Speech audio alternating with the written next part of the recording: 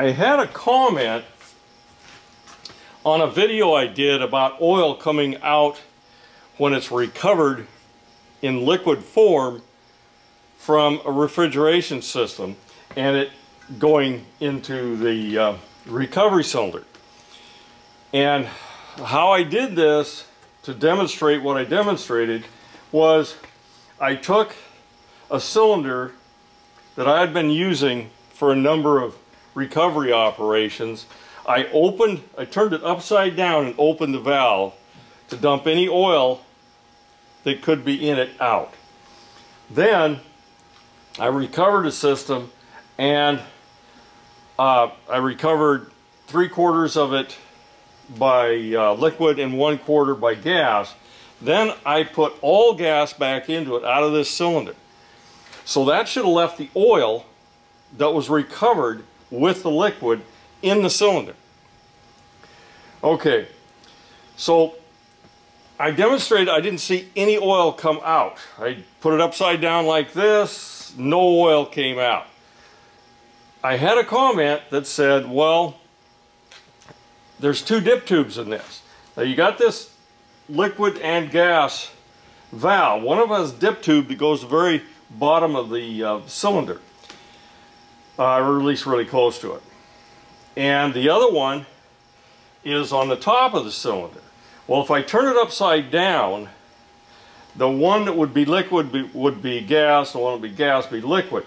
And I figured I would get a more accurate read. So he thought there was a second dip tube for the gas portion of the refrigerant and that I probably wouldn't get any oil out. So I decided to test that.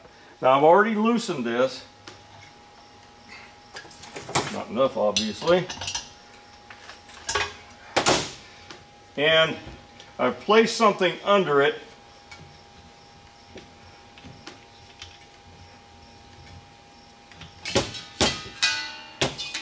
Okay, the valve's out and you can see if you look close at this valve there is only one dip tube.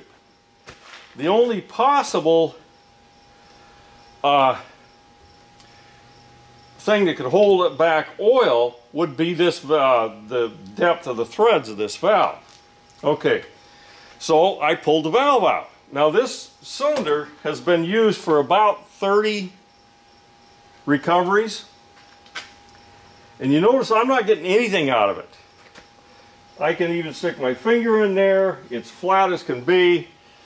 There's a little bit of oil in there, but there's not enough to come out. There's no lip around the inside or anything. So, no oil's coming out.